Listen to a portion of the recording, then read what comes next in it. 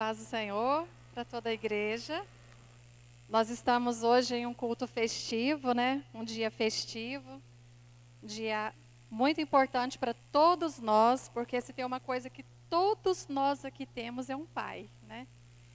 E como no Dia das Mães, né, o culto comemorativo do Dia das Mães, nós recebemos muitas homenagens. Foi um culto muito bonito. Nós esperamos é, recompensar os pais hoje, né? É, que seja um culto abençoado. Eu quero dizer para cada um de vocês que estão aqui dentro, que são pais, que esse culto ele é em sua homenagem. Todas as palavras né, vão ser direcionadas a vocês. Nós queremos parabenizar cada um dos pais, essa missão tão linda né, que o Senhor nos deu, é, que deu para vocês, de ser pai. Eu queria pedir, irmã, para colocar um versículo aqui no telão, é, Salmo 103, o verso 13 e 14. Aleluia, Jesus. Glória a Deus.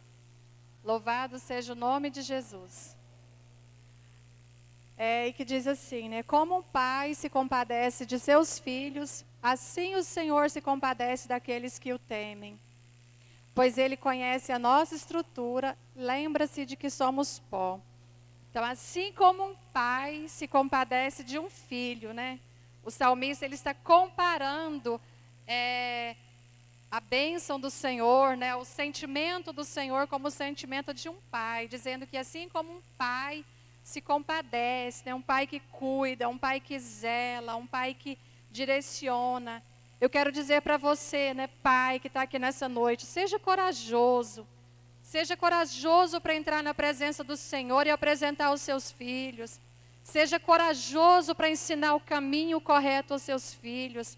Amar os filhos é ensinar eles o caminho que deve de andar. E muitas vezes nós temos que ser muito mais corajosos para amar do que para não amar, né?